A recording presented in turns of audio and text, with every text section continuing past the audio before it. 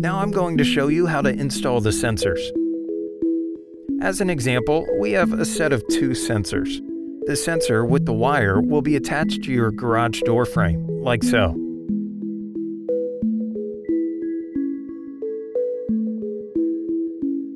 And the other one, without the wire, will be attached to one of your door brackets. You can attach it by using just one bracket and mount it like this.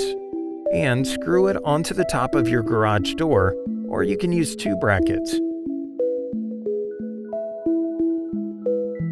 And then this will be mounted or screwed onto the side of the garage door. So, as you can see here, we've done that already using the two brackets mounted on the side.